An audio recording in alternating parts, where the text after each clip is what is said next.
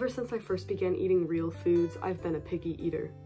I would eat the peas on my plate at home, but would turn my nose up at the peas at preschool. I've always loved Kraft mac and cheese, but I could never stand homemade mac and cheese. I was even picky about what type of water I drank. This caused a lot of tension between me and my extended family whenever we would go visit them. They often got annoyed when I chose not to eat certain foods they prepared and would try to force me to finish my plate before leaving the table. Karen Nordstrom suggests that one who may control another person's food intake holds certain power over them, and that by rejecting the meals my family prepared, I wasn't allowing them to have that power over me, which caused that strain in our relationship.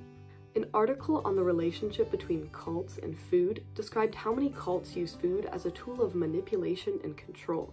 And although comparing my family to a cult seems a bit morbid, I definitely used to feel manipulated and controlled when we had those big family dinners.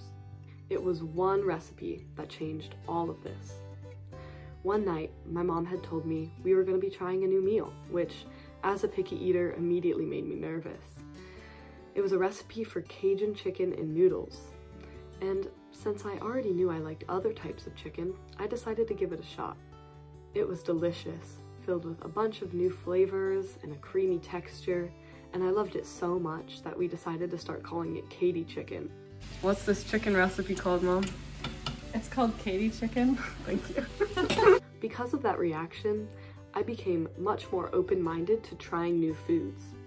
I found it to be true that more individualized eating, like my own, may make it more difficult for people to eat meals together because as soon as I had opened my mind up to other foods, it became way easier to have those meals with my extended family. They were less hostile with me when I was showing an effort to eat the food that they had prepared. The meals were now all about gathering people and nourishing life, rather than having power over me. It's crazy to think that the whole dynamic between me and my family had shifted due to just one chicken recipe. Sometimes just a little change of flavor is all you need to change your life.